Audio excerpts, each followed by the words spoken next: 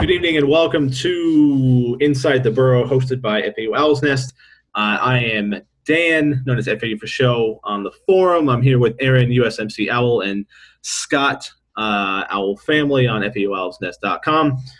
Uh, exciting news, lots going on uh, since our, our season has ended. Fortunately, we uh, have something exciting to talk about and not just how, uh, how many missed opportunities we had this year. So tonight we're going to talk – starting right off, we're going to talk about the the announcement that happened today. We're super excited about that. We'll briefly go over the ODU loss and talk about some of the seniors uh, and the impact they've had and, and, and losing them will. Uh, what that impact will have. And we'll talk about UAB and Marshall and Conference USA and some of that stuff that, that's happened. Uh, and, and then we'll wrap it up uh, there. So, uh, guys, I guess uh, I'll, I'll, start the $16 million biggest gift in university history. Uh, going to be a, the, I guess the highlight is going to be the indoor practice facility, uh, followed up with a full academic center. Seems like there's going to be an updated weight room. I mean, a full huge thing. And I think for, for us, it's obviously it's a rec- recruiting tool. But the first thing that jumped out uh, to me at this is this this shows that there is a commitment to athletics and specifically the football team. This is not something that we're kind of well, well, hopefully our football team will be good. This is a full on commitment saying we are dedicated to the growth of the growth and success of this program. You know what? I since I was at work, I did not get to watch the announcement, so I got to listen to the replay on my iPhone. And thank you, Apple, for not having QuickTime on iPhones. But I wasn't able to see the video, but I was able to hear it, and you can hear the passion and the excitement in Dr. Kelly's voice, as well as Coach uh, Partridge, Coach Jay, and especially uh, vice president of athletics, Patrick Chun, about this, and they want the, they wanted this. They're getting it. Thank you again for the to the Schmidt family for donating this large amount of money. and I want to call it my early birthday present because my birthday is Thursday. But you know, but thank you as an alum. Thank you for helping get our athletics better. So I'm excited to actually see where FAU is definitely heading now.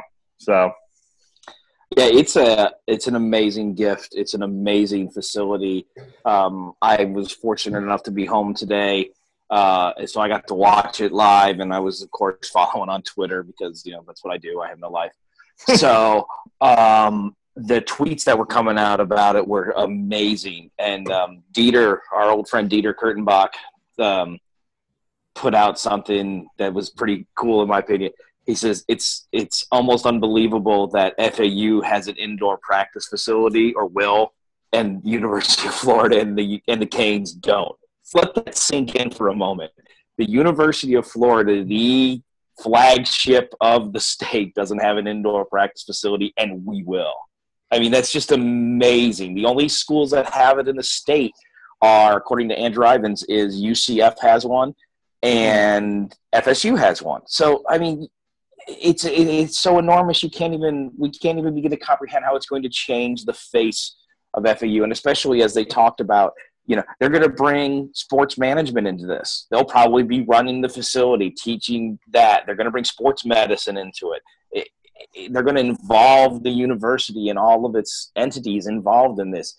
It is a monumental game changer and i gotta agree with aaron. To the schmidt family i have no idea if you're ever going to see this but thank you as an amazing Kickstarter to this thing. $16 million towards a $50 million facility. Thanks. You got us almost halfway with one stroke of the pen. So thank you uh, very much. We appreciate it. Yeah, well, I, I, agree with that. But but you you brought up a good point that they're they're bringing in or they're going to allow other programs to be a part of this, like the um, the MBA in sports management program. But they you know they mentioned exercise science, they mentioned nursing. Um, and uh, uh, I saw some there, the architecture program was maybe going to have some input on it and maybe be a, be a part of it somehow. So I think that's one. The facility is going to be uh, a selling point to um, to student athletes, but it's also going to be a selling point to uh, to normal to potential students um, as far we can you know we can say hey we're building this new facility and are if, if we ever figure out what their involvement is going to be say look you're going to be able to be as a student you're going to be able to be involved in this and and then uh, that's another thing that you uh, you can put on your resume. Like, oh, I went to FAU. This is what made FAU stand out. I put this. Uh, I was able to, you know, um, help in the not the construction, but with the ideas and, and and what was going on there. So I think that's that's a huge thing. Another thing is, uh, like you said, there's only two other schools that have it in the state, and this just it to me it kind of puts us on a whole nother level. Um, uh, than other other schools. I, I would say Conference USA schools specifically, but like there, to me, there's there's no reason why we should ever ever lose out on a recruit to uh, FIU ever again. Uh, because our facilities will just blow them out of the water, and I would say even even USF. I mean, all they to me they play in a in a big empty pro pro stadium that's not even there. It's not on campus. Um, I'm not sure what their athletic facilities are like, uh, but I think that it just it puts us on a whole nother level.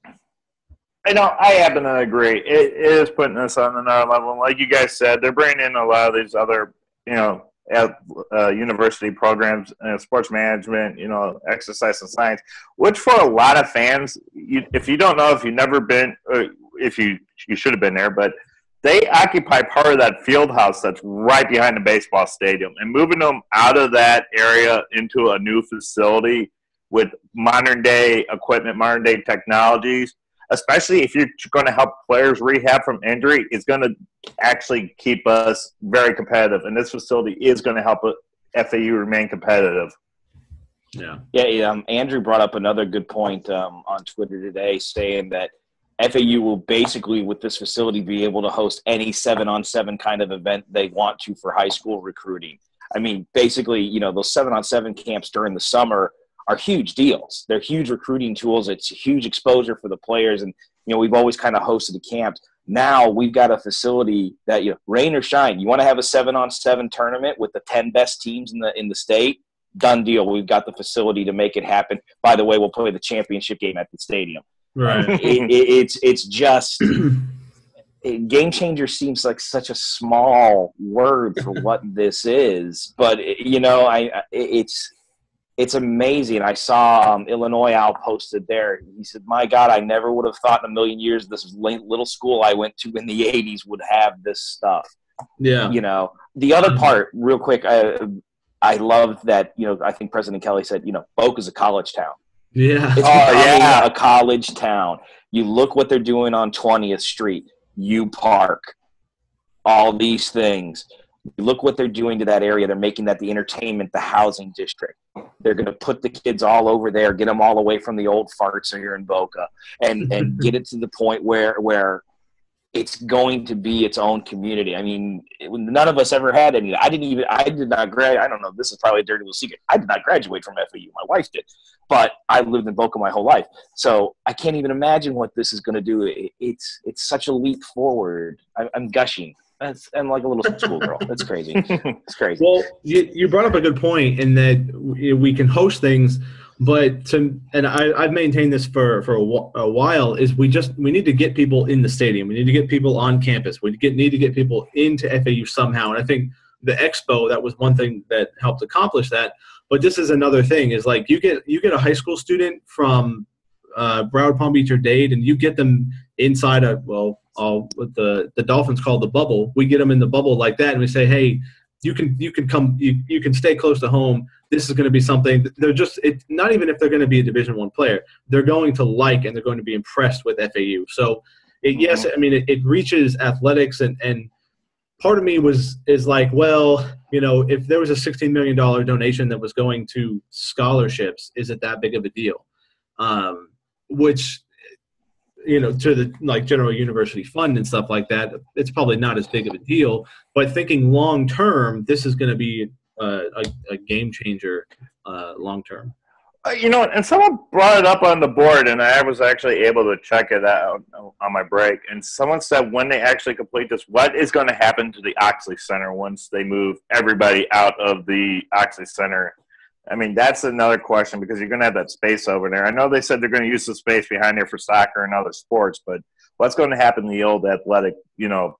Well, I don't think football. I, I don't think football will. Pr- they're probably not going to be primarily in the in the indoor facility. They're probably still going to use that space to be outside. I imagine. No, but I'm talking about the administrative offices type deal. Someone asked I, I about. think there's going to be some offices and stuff. I'm sure there'll be some little offices and things like that still going on. I, I imagine that the weight room at the Oxley will probably still stay there as well, and that will just kind of become. I think I think the the the Schmidt Center will become kind of like the football centric kind of thing. That's where the football weight room will be, and, and then now you've got the other athletes who will have a a another workout. It's in other words, you're not competing with hundred kids on the football team for the weight room that you have. The hundred Yeah. kids from the football team will be at the practice facility. And by the way, now baseball and soccer and and and softball now have a, the other weight room available.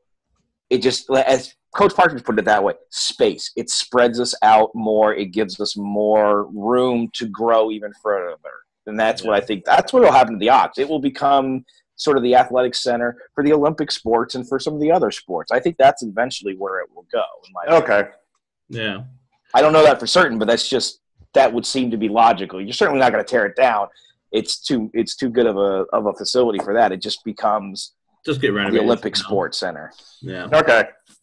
Um, yeah, so definitely a, a super exciting time, and we'll probably, well, I imagine as as the year goes on, we'll talk, and as things go a little bit, uh, uh, move on a little bit, we will uh, talk about this again. But I guess so to go from news that's super exciting to go to news that's super saddening, boring, sad, disappointing is uh, our loss to ODU. Uh, we lost. You know, it, it was was senior day, and I was I was going over the the depth chart, the two deep, uh, for last weekend, and it's like there's probably six, seven seniors on the two deep. hmm I mean, we're, we're not uh, obviously the the loss of D'Joun Smith, uh, Andrae Kirk, uh, Lucky Whitehead, Lucky. Ian Arms, uh, Braden Lyons. That's probably the the biggest the biggest loss. Um, That veteran leadership that you're going to want with the younger kids coming in. and and, and so I, I don't think you know yeah it was a, a disappointing season. I, but to me uh, and again i'm i'm a glass full type of guy and just looking at looking at the players that we have incoming and the players that have come in the previously again this this this recruiting class that's graduating this year other than lucky whitehead was the worst recruiting recruiting class in all of college football in 2011 this was the worst. Um, and if you if you look at our look at that, we probably have three people that are that have a, a very legitimate chance uh, of being on an NFL roster next year. So uh, yes, it was disappointing, but um, uh, it's uh, better times are ahead, I guess. I was more angry. I wasn't. I, I, yes, I was disappointed. I mean, I'm sad to see some of that great veteran leadership, especially on defensive side, like Andrae Kirk and that uh, or, or center Brandon Lyons. But I was more is more one. I'm sad to see the seniors, leave, but I was more frustrated at how many penalties were thrown on basically both sides of the ball and on both teams. I mean, that this crew seemed very for the last game of the season, which didn't mean much to except for maybe ODU, or who was I guess playing for bowl eligibility. I think someone said. Yeah. Well, they would. They had enough. I don't think they're eligible because they're in transition. But yeah, I mean, six wins is basically bowl eligible. But I mean, they were quick to throw out their flags on Saturday. I mean, it was like laundry all over the field from start of the game to the end of it. there were some questionable calls. Yeah. But I mean, the veteran leadership is what I'm going to miss most out of these guys. You know, guys like Kirk and Lyons. So I, I, I'm actually, and I know he didn't have a good year this year, and I know he didn't have a good year last year, but yeah, I uh, I really warmed up to Willie Dukes. Um, I'm going to be sad to see him go. Uh, he did not come around the way he was supposed to this year, but I'm going to be sad to see Willie go. He was he he was an electric when he was a sophomore, and I really thought big things were going to happen, and I hope he gets drafted. Um, the other thing I, I brought up uh, earlier when we were talking about this, um, the the difference between terrible season and good season is so razor thin. we lost four games this year on the last play of the game. oh yeah, Yeah. You're talking the difference between three and nine and seven and six is a matter of probably 30, seconds mm. of game time. It's a razor thin. And that and and we'll kind of I, I think next week we'll we may do a, a more detailed breakdown of everything. But um, you're right. I mean, if, if you think back quickly, there's a, a couple freak plays that happened. A couple, if you stop a couple big runs, I mean, you make one more play, you get one more first down. You know, and that that's kind of the what if, and that's what makes things disappointing is knowing like we were we were kind of right there. Um, but you know, hopefully this is hopefully this is a good thing. Hopefully the the losing um, kind of shows the all the things that you, you you take more notice of the things you do wrong when you lose, basically. So hopefully moving forward, we'll, No, nothing inspires a person more than the pain of loss and Mhm. never wanting to feel it again. And trust me, those kids, obviously, other than the seniors who are, of course, now gone, but the juniors, the sophomores, the freshmen, they're not going to want to do this again. They're going to work harder in the weight room. Coach Partridge already talked about, you know, the plans getting in place now for the new workouts. yeah, You know, it, pain and loss is a motivation tool, especially for an athlete. And Yeah. so, while it sucks for us as the fans, I think it helps build the character. And yes, we had to. We had another rebuilding season. Damn it! But it is what it is, guys. And and and I know. So we we catch some flack for being you know sunshine pumpers here, but well, that's what we are. We're we're we're pretty happy about stuff. So I, you know what? Uh, sorry, Dan. Uh, I, I think s- I think it was Underdog Dynasty or one of those uh, websites that reported like is Tr- Charlie Partridge the next Bret Bielema, and that's pretty. Saw that. And that's pretty high praise coming from a, webs, you know, one of those websites. You know, Bret Bielema, who took over for legendary Barry Alvarez of Wisconsin. You know, he took over from him and basically, you know, kept up a program before he basically bolted on Wisconsin to go run Arkansas and look where Arkansas is right now. But Well, yeah, I, I was I think pretty high praise. So I guess um, so to move on a little bit, we only got a a couple more minutes here, but I wanted to to quickly well kind of give an update on on um, Conference USA, and everybody knows uh, the disappointing thing of, of what happened at UAB. Nothing. I think it was just the people, the board of trustees in, in charge, or whoever was in charge. They knew this was going to happen. I mean, UAB could have gone undefeated and, and, and been playing in a bowl game or in a, uh, well a BCS bowl, I guess I'll still call them. Um, could have gone undefeated, and they still there still would have been that probably still would have happened. They, they knew this was going to happen, so it, it is a disappointing thing, and we feel for them as as um, fellow Conference USA members. I agree. Keep up the fight. I know it's not much of comfort, but I mean, don't give up yet. I mean, there's people out there in Alabama that still want to see UAB playing football. So keep up with the news and just keep up the fight. Keep your spirits up, guys. We feel you from Owl Nation back here. Yeah, I, you know, I, I've I've chatted a lot with the Blazer faithful over the years. Um, and, you know, we've had some great games with the Blazers, even before we were in Conference USA. When we Yeah. played them out of conference, monumentally memorable games, blocked field goals, um, exciting games. You know, I, I enjoyed playing against them, and, and what's happening to them is truly heartbreaking for their fans. And yeah, and and you know, it's- let's keep on. You know, it's not just football either. They canceled bowling and rifling. You know, and, they, and they may lose their status as Division One as well. well, and they're probably not going to be in Conference USA because Conference USA bylaws specifically state that every member must play football. Fo- football, yeah. Yeah, so it's They a tragedy. It really is. There's a heartbreaking video out there right now of the players being talked to by President Watts.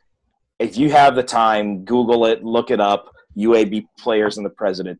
It's heart wrenching, and it shows you the passion that those players have, and I know our FAU players have for this. The many of them, this is their future. This is their dream, and it was ripped away from them. So, uh, free a free UAB is what I'm going to say. I sincerely hope that the Blazer faithful get it turned around and that the board of trustees wakes up and does the right thing. So free UAB. Free UAB.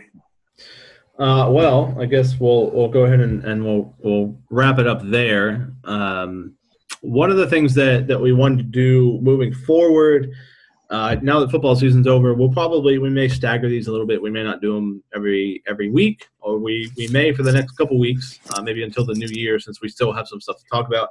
Next week, I think we're going to do just a little bit more in depth um, football wrap up. Like I said, uh, and we'd like to have more people involved and, and we may we're going to work on how that could happen. We may do a live event. We may uh, maybe invite some more people to be a part of it. And if you want to be a part of it um, definitely let us know. Again as always you can uh, check us out on at inside the burrow on twitter.